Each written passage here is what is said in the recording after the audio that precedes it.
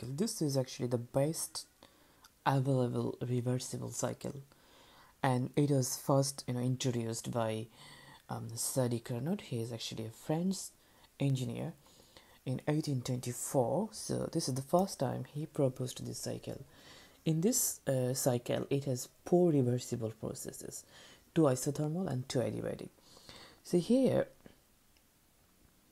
here you can see actually this from this animation uh, how this four processes is happening. So to what I say two isothermal and two adiabatic you can see the adiabatic processes and the isothermal processes. The isothermal processes is process 1 and 3 and you can see this is 2 and 4 and if you look here closely actually how um, it is working you, you can see from this is same both figure you can see from this both animation the left hand side and the right hand side it's actually showing the four processes reversible processes. So now i'm going to discuss how it works with more explanation. So here you can see as we said we have four um, irreversible processes. So this is process 1 2 and we can say this is you know the reversible isothermal expansion state. So here we have the gas inside the cylinder. We have the piston here this is actually the gas with constant temperature T haze and we put some what temperature reservoir or you can say the energy source which is very close contact with this uh, you know this piston cylinder device okay? This is let's say piston cylinder arrangement. We have this energy source or you can say the you know you know, the high temperature reservoir, right? So the both energy source and this gas temperature is T is constant. It is same. So what we can do here is um, you can see we have the piston here at this position. If we allow this gas, okay, if this gas is allowed to expand, then what will happen? If gas expand, then temperature of this gas it will decrease isn't it? The temperature of this gas will decrease. And the decrease let's say after a certain period of time the decrease is very small dt very small decrease. So the gas temperature will decrease dt very elementary section. And when it will decrease dt then immediately some heat transfer will happen here. This energy source or high temperature reservoir will transfer some heat to this gas because it is very close, no insulation here. So it can easily transfer some heat, this dt amount of heat, very elementary section, and the gas temperature will become T haze again. So it will become T haze again.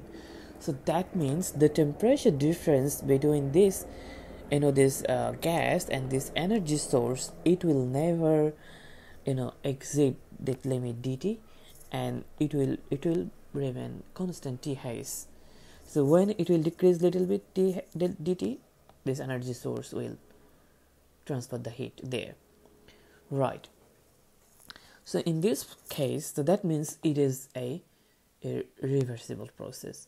And when the cylinder will raise to you know um, this process too it will this process will continue until the cylinder races to this process 2 or state 2 so what we said in this case you know the temperature difference between these two never exceed this and at the end you know it will be constant the temperature T. And here the heat transfer is Q haze so now when we go back when we go to the process 2 so this is you see the process 2 in process 2 it is we said uh, the reversible adiabatic expansion.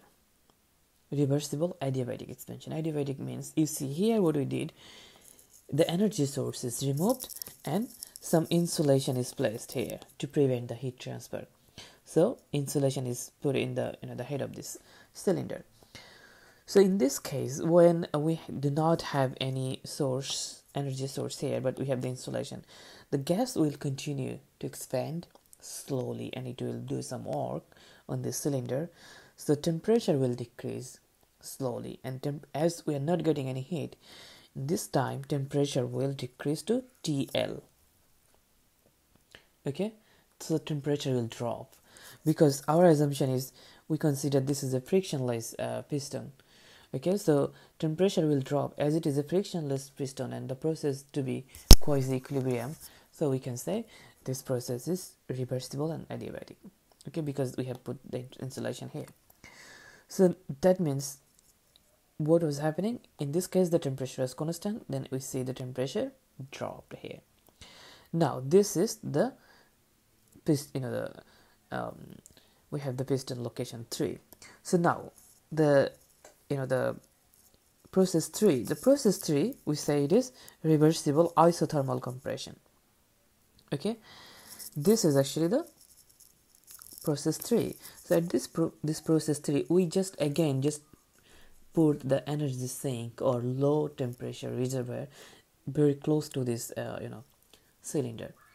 And we removed this insulation. You can see in this process 2 we had the insulation. But here now we just remove the insulation. When we remove this insulation then we can get some heat transfer here. So what is happening? It is you know the compression. Not expansion during this compression when it is this air is compressed then what will happen guys? When it will compress the temperature will increase. Right temperature will increase and it will be very elementary increase like dt when it will increase dt this gas will immediately transfer that amount of heat to this you know low energy reservoir or energy sink. So the temperature at this gas and this energy sink. You see it is TL so it will be TL again. So you maybe you, you are asking then the energy sink temperature will increase or this is actually the reservoir and you know the definition of that. Anyways i don't want to discuss it here. So it will continue continue until uh, you know it this this piston reaches position 4 the process 4 and the temperature in a TL it will be constant here. So that is actually you know in this case it is not adiabatic anymore. It is you know the isothermal process. Right? Because this is the process 3 you, you can see. So the temperature difference between this and this it will never exceed this dt so when it is dt it will uh, you know transfer the heat to this sink energy sink. And in this case this the heat transfer will define the heat transfer um, or the you can see the heat rejected from this this gas to this energy sink is ql right and now the final phase. When it is in the in the process 4 it will expand. Now what we did we removed the energy sink okay? At this state 4 we remove the energy sink and we put some insulation that um, can prevent the you know the unnecessary heat transfer. So if we compressed it a bit more then this temperature TL it will increase increase and it will become T highs like the original you know the the initial stage.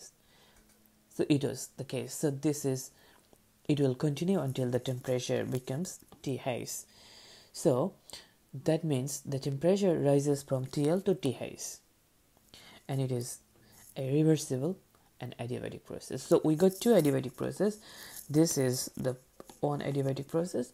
This is another adiabatic process. And this is you know the ice you know the isothermal process. This is the isothermal process. This is the isothermal process. So two adiabatic into isothermal. So in this way you see this is actually the complete cycle and the process will continue this way. If you want to see this animation here you can see. So initially it was here it was here then you can see it can say this is stage 2 this is process 3 and this is the 4 and then it go back to the original positions. So if you look here in this animation you can clearly see actually what is happening. Now we'll quickly look um, the PV diagram. You can see this is actually the PV diagram for the Carnot cycle. And if we mm, consider the reversed Carnot cycle then you see initially it was this is 1 this is 2 this is 3 this is 4 and now you see it's 1 2 3 4 I'll discuss it during the lecture. So the reverse Carnot cycle you can see here. Reverse Carnot cycle it is the Carnot cycle engine you know the Carnot heat engine cycle totally reversible. And all process uh, that comprise it can be reversed. So you know the refrigeration cycle uh, we discussed earlier. So the Carnot i think that's all and um, we'll discuss a bit more during the lecture. So here if you look at this animation guys then i believe you can clearly understand actually what is happening here from you know the state 1 to 2 2 to 3 and 3 to 4 and 4 to the initial state. So i believe you